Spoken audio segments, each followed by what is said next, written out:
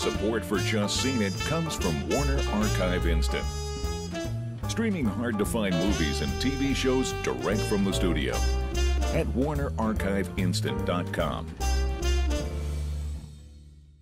Support for Just Seen It comes from Weaver's Coffee and Tea, makers of hand roasted artisan coffee and hand blended tea. Learn more at weaverscoffee.com. Kimball Beauty, offering a complete line of hair care products, is a proud sponsor of Just Seen It. Great hair equals great confidence. Learn more at KimballBeauty.com.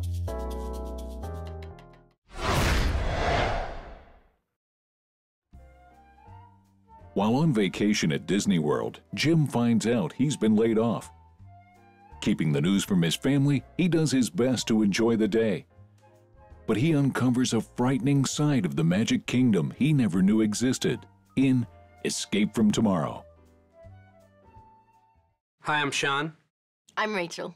And I'm Aaron, and today we're here to talk about the low budget film Escape from Tomorrow. We've all just seen it.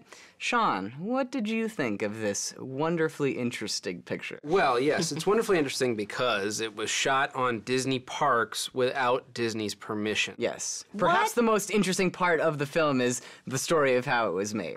By far.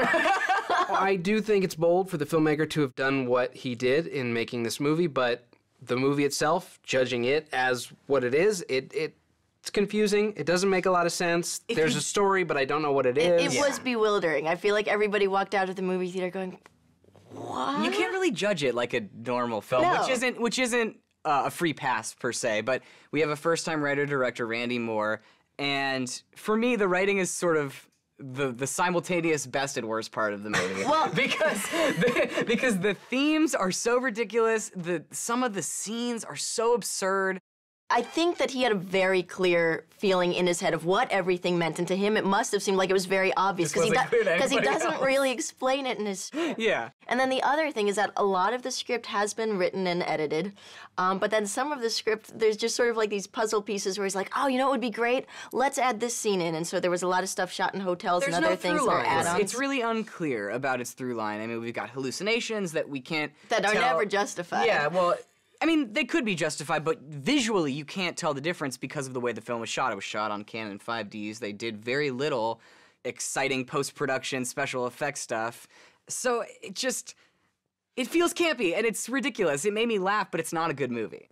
It seemed very naturalistic when you're watching it. and You feel sort of like you're you're spying on people rather than watching a movie. Yeah, and then being in Disneyland certainly helps. The father Roy Abramsohn I didn't think was fantastic. Uh, he's okay, kind of plays to the camera sometimes, but the kids were pretty good. I mean, they- I believe that they were these kids. They were genuine. I think Yeah. that they thought they were going to go on a vacation to Disney World, and so you just film them doing that, and they're they're giddy and happy, and everything's fine. Right. But I mean, if you're if you're going to try and present me a story that I can relate to about Disney World is for the kids and it's an illusion and a fantasy, and when you grow up you're disconnected from that. I wish I had a different protagonist. I wish I had someone that I could follow along with. When Yeah. he's sitting there ogling, you know, teenage girls, I'm Young, just young, very young teenage very girls. I mean, they're young like girls. 16. They're But like but they're- 14. But they're French.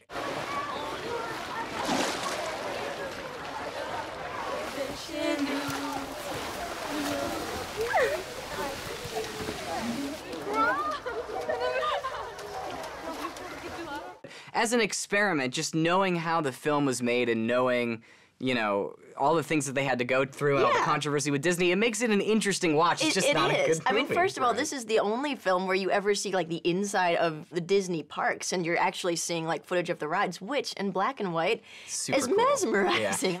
It is impressive and bold that the filmmakers did this, shooting this movie at, at Disney parks, and they weren't caught. But you know, just because you do that, I, I, I want something better as a product to come out of that idea. So our creative force behind this picture is writer-director Randy Moore. This is his first film. I mean, as a director, he he takes some risks. I mean, we have weird Dutch angles. They he uses lighting very well. It just visually, it was like a like a psychosexual dreamscape. It was just so interesting.